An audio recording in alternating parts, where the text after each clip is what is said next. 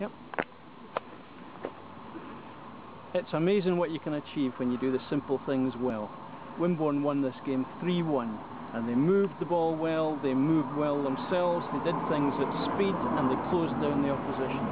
And that was enough to see off Brockenhurst and, and move us to within one point of the, of the fourth place team. A great four days for Wimborne following up their 1-0 win at Moneyfields on Saturday.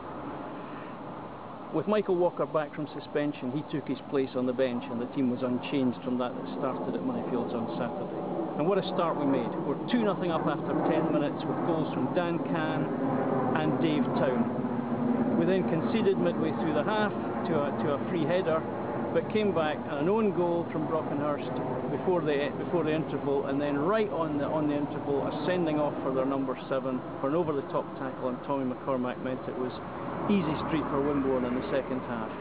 A bit of a non-event in the second half. Tommy went off and Michael Walker came back, came, came on. Willow got injured and went off and Scott Arnold moved up into midfield.